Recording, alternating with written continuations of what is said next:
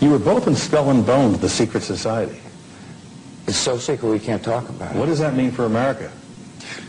The conspiracy theorists are going to go wild. I'm sure they are. I don't know. I haven't seen the web. Number 322? Uh, first of all, he's not the nominee. And, uh, but, uh, look, I look Are forward... you prepared to lose?